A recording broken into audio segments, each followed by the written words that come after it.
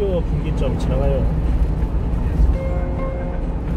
전방에 60km 이동식 과속 단속 구간입니다.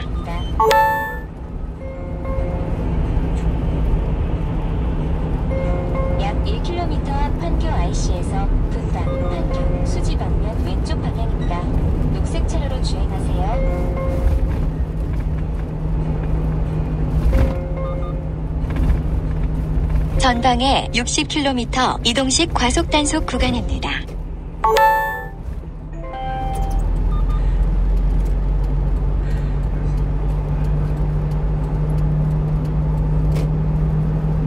약 500m 앞 판교 IC에서 분당, 판교, 수지 방면 왼쪽 방향입니다.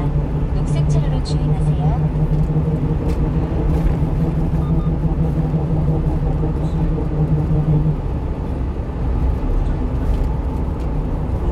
잠시 후 왼쪽 방향입니다. 전방에 60km 박스형 단속 구간입니다.